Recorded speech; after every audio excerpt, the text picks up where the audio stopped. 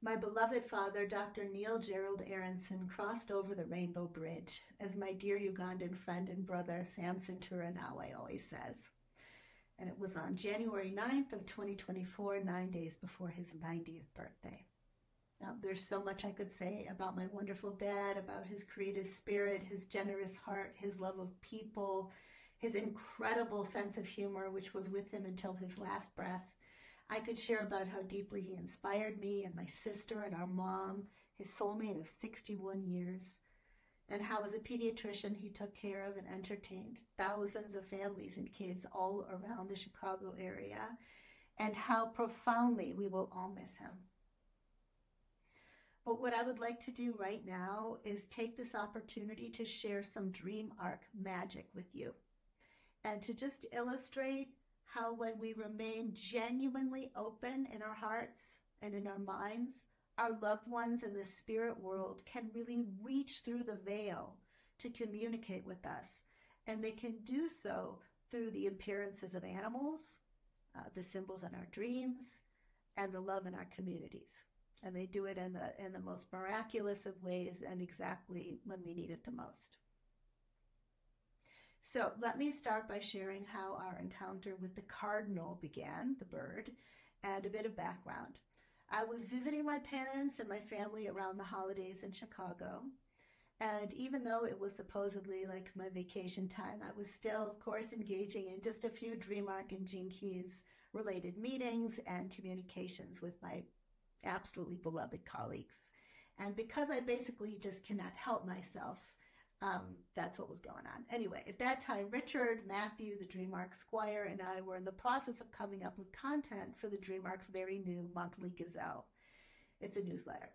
Uh, so one of the ideas we were getting excited about was the possibility of introducing some new animals. And these would be animals that were not part of the original DreamArc Animal Codex. Now, for those of you who are new to the DreamArc, in the DreamArc Codex, written by Richard Rudd, all of the 192 animals are intuitively bundled together into 12 smaller groups or categories.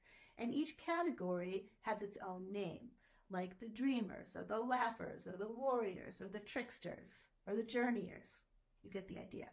So we thought it would be fun to come up with a small group of new animals that could play the role of bridging, bridging two categories together or weaving them together. So for a little while, I've been percolating on this question, like which animal, bird, or creature might be a good one to weave the healers together with the messengers. And the one that kept coming to me was the cardinal. So I did a little bit of research and I learned that the cardinal was known for bringing healing and comfort to those who were grieving. And given all that was happening in our world, the cardinal felt like just a really powerful bird or vision key, according to the DreamArc, to introduce to the DreamArc community and beyond. You know, so many of us all over the world have been grieving and on so many levels for so many good reasons. So I invited Richard, right? I said, hey, Richard, why don't you percolate on this gorgeous red bird and see if you feel any inspiration to do some writing on it to create some guidance from the cardinal. Now, just a few days after that conversation, my father became quite ill, and just a short while after that, he passed away. My mom, sister, daughter, and I, and everybody who loved my dad, we were just all completely devastated and, and still are. it's very raw. Um, but I'll never forget it. I was in my sister's childhood bedroom crying, and then the thought came to me, my God, you know, like I just wish our dad would give us some kind of a sign. I wish he'd show up as a cardinal. Then we'd know for sure that he's okay. And really, I really remember thinking that. And then almost immediately, I regretted having that thought. You know, why set myself up for disappointment, right? We were we were in the middle of a totally freezing blizzard, and even if there were cardinals living in that part of the country, which I doubted, they surely would not come out in such a freezing weather, right? And besides, why did I need to look for external proof of something that I should just know and feel in my own heart? You know, that our dad was still with us and that he will always be, no matter what. So I just kind of let go of that thought. And then two days later, before the funeral, The rabbi who was going to be officiating at the funeral came to our house in order to gather information about our dad and prepare something to say. And my mom and my sister and I were sitting around the kitchen table with the rabbi, and my mom's sister in Florida and my daughter Maya in Copenhagen joined us on the phone so that they could also participate. And, you know, for some time we were just sharing memory after memory of my dad, just all the things we loved about him, you know, and all the humanity of him. And then all of a sudden, my sister stood up and pointed out the kitchen window towards the backyard. And she said, Hey, what's that? There's a bird out there and it's so red. Of course, I immediately got up and I ran to the window and I looked out, right? And I, I, just couldn't believe my eyes because there was a red cardinal in our backyard, just hopping around in the freezing cold, just hanging out for quite some time. And of course, I burst into sobbing and tears and I shared why it meant so much to me and how the cardinal was here to bring a message of healing to those in grief.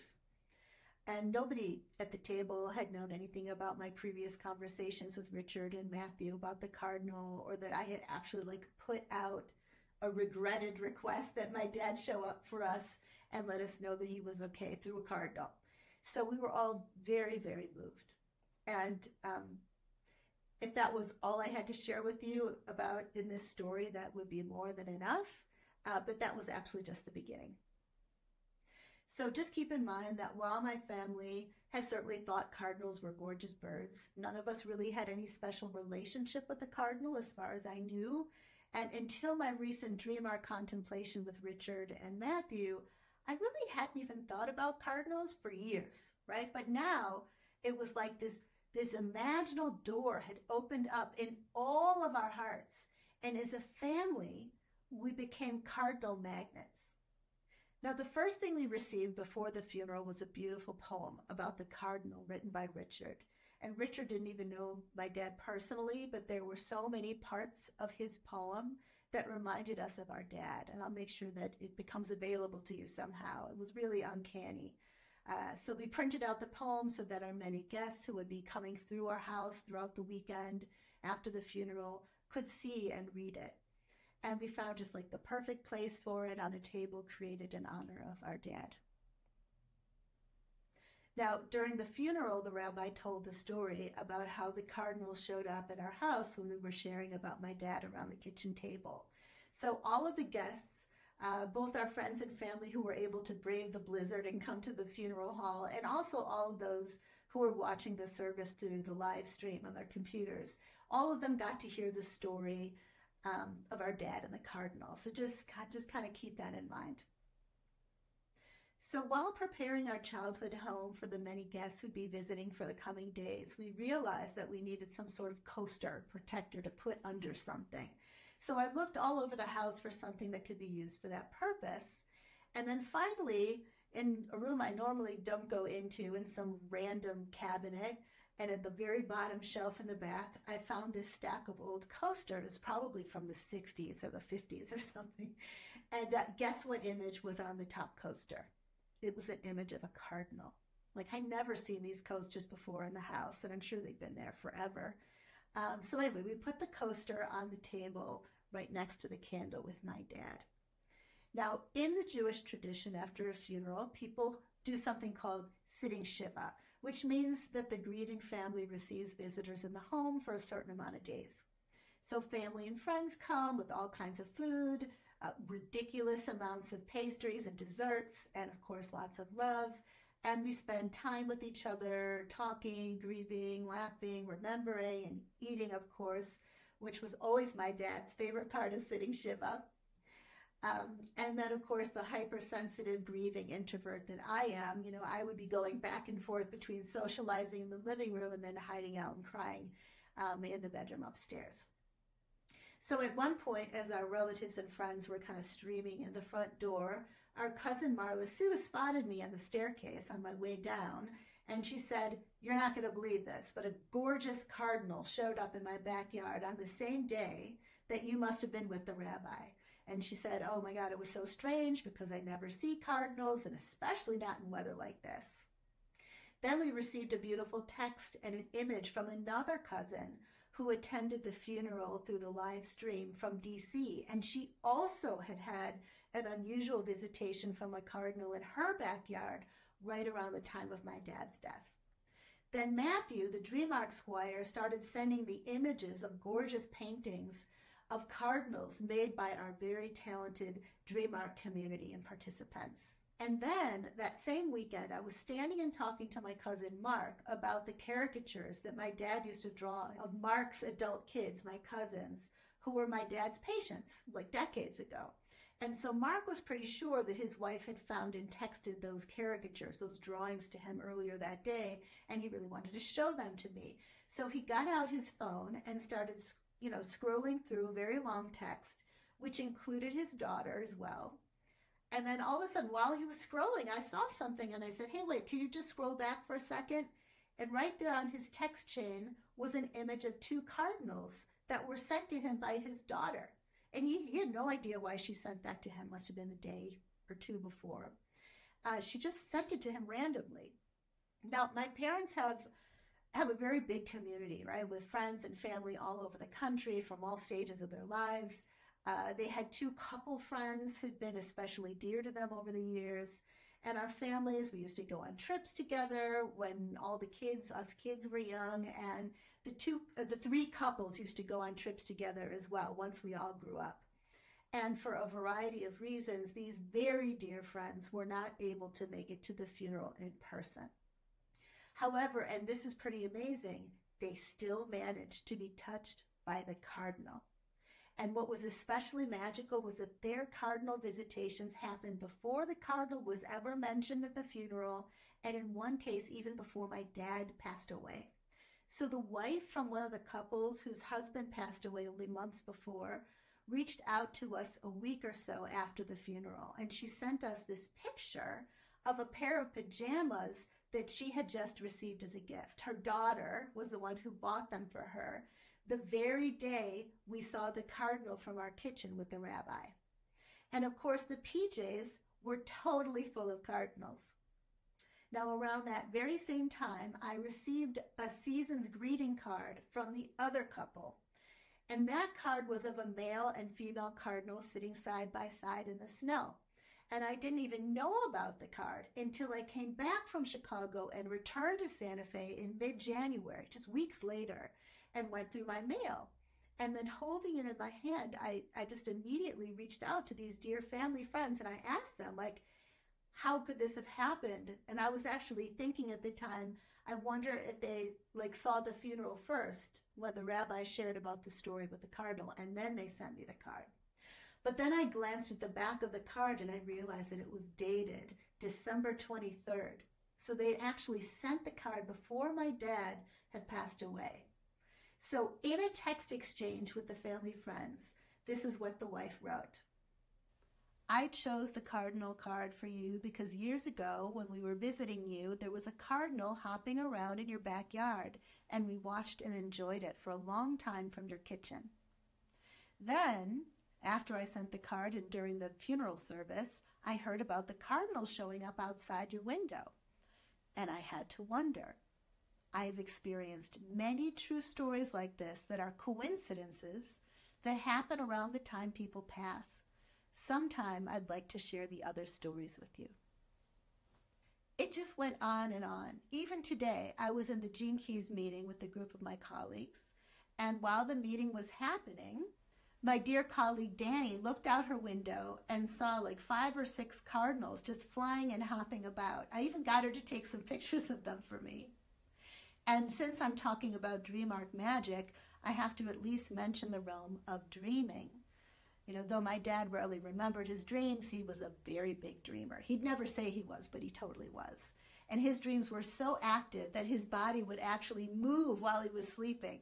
So, for example, like once he was dreaming that he was playing basketball, and while he was in the process of kind of making a slam dunk, he literally hurled his body off of the bed and onto the floor while he was sleeping. That's, that's my dad.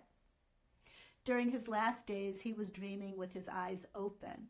It would go on for hours at a time. His eyes would kind of be scanning the room, and sometimes he would smile and laugh, and sometimes he would be kind of conducting music with his hands, and sometimes he'd get upset about something. And once he was looking at the walls of the hospital room in astonished amusement, and we asked him what he was seeing. And it took a lot of energy for him to be able to articulate it, but he finally said that he was seeing drawings made by many of his patients, drawings of kids by kids all over the walls. You know, there were really moments when it really felt like he was experiencing his life review right there in front of us. So, when preparing for the visit to Chicago, which was supposed to be to celebrate the holidays and our dad's 90th birthday, my sister Marilee had bought him a gift of a sweet, angelic, childlike being kind of flying on a bird. And her card was addressed to Dad, our favorite, playful, living, hilarious dreamer. After our father died, our aunt dreamed that she and our dad, her beloved brother in law, traveled to another planet, similar to many of the adventures they'd had in the 61 years that they'd known each other. She actually saw him before my mom saw him and thought he was quite cute. and then I had a dream where I was standing on a cliff overlooking this valley full of all kinds of animals. And then this enormous flock of cardinals flew over my head. There must have been hundreds of them. And then a dear Danish friend of mine, Melina, who some of you may recognize if you took the DreamArc online course, had a powerful dream about my dad, which was crazy, where he sat down in front of her and they looked in each other's eyes and he said, I will always be here. We never die. And then the next day, a beautiful red bird, not a cardinal, but a red bird, showed up in her backyard, and it really felt like it was communing with her. And even though it wasn't a cardinal, it was red, and it made a huge impression on her, and she had to tell me about it. And this was before the funeral, so she didn't even know about the cardinal.